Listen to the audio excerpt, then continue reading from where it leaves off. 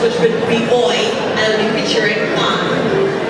And Rudra from India would be doing the song in Hindi, so we've never had It's nice you can see. Yeah. It catches all the noise